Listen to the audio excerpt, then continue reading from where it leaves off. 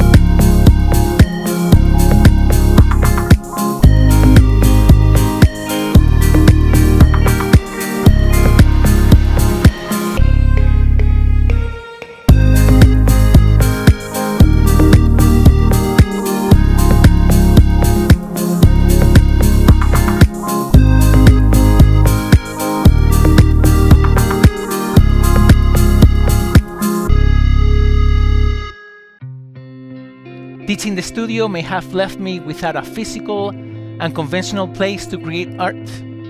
However, it has given me entire towns and cities as potential canvases to paint.